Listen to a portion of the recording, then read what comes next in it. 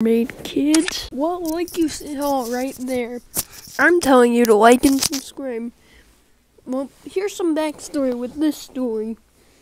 I was at Chuck E. Cheese with my friend um Jacob. He's a um he used to be a fellow YouTuber. He just stopped uploading.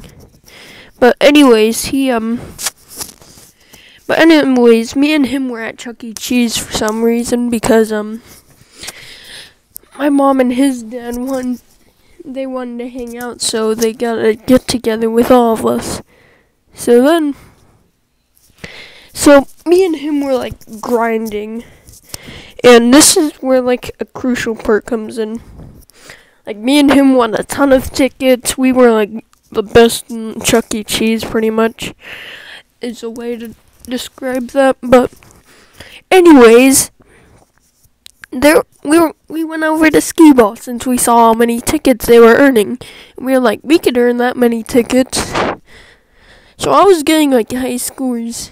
I was like doing amazing at skee ball to describe it. And I saw that these machines were confusing. There were like one side there was like you would swipe your card and that person who swiped their card on the other side their tickets would come out where you swiped your card but the different would apply for them the same would apply for them but so I looked to my right and I said, Whoa, I'm earning a ton of tickets. This is epic. And something like that. And I was like, Whoa, I'm I'm gonna take these tickets. Little did I know. One second later, this old boomer looked at me and went like, "You stole my tickets." She was like in her late seventies, late sixties, early seventies, I want to say. But she she was the biggest creep on earth. Like, she was chasing me around the Chuck E. Cheese. And I was like, stop. And she was like, I need your parents. I need to talk to them. So I hid in the bathroom. She opened the door and said, You stole my tickets, little boy. So this was already a creepy situation. Basically, she was where basically she was just chasing me around the Chuck E. Cheese. And um, she was asking me where are my parents. I wasn't going to tell her because she was a creep. As a way to describe it. So she grabbed a ton of random little kids I've never met in my life and said, Can I talk to your parents? I want to be your friend. And I knew what she was trying to pull. She was like trying to make me feel bad for quote unquote stealing her tickets I actually gave back. Believe it or not, I'm a good person in real life. But really, she was just chasing me around. She wouldn't give up on the situation.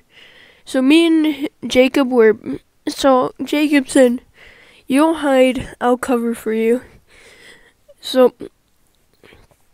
So I hid behind a, a skee ball machine like there was this little opening, so I hid behind that. And Jacob was playing skee ball. So um she went up to Jacob and said, "Were you with him?" And he said, "Yeah, I was." And then she said, "Then where are your parents?" And then he said, "I'm not telling you. You are literally stalking us." And then she said, "No, I'm not." So so me and him were playing Terminator after she quote unquote left and she was stalking us still. So so then um I texted my mom about the situation and said, "Hey, there's this lady stalking us in a Chuck E. Cheese pretty much." So she went up to me and asked me, "What's the situation?" And me and her talked about it and then she went up to her. So she went up to her and said, is that your boy? And then she said, Yeah, he's my boy.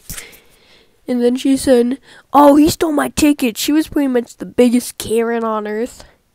I'll illustrate a picture for you. Black, elderly. Yeah, that's pretty much how to describe her. But not to be racist or anything. Like, she was the biggest Karen of all time, is a way to describe it. Question Should I add background music?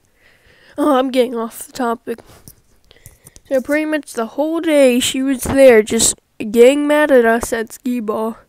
Like, she would try to make a scene. So, I basically dashed out and went to a McDonald's after that. That was cool. But that's the story today. Please hit like and subscribe.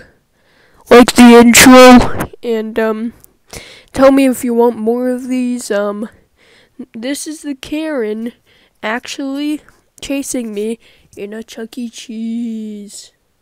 Thank you for watching.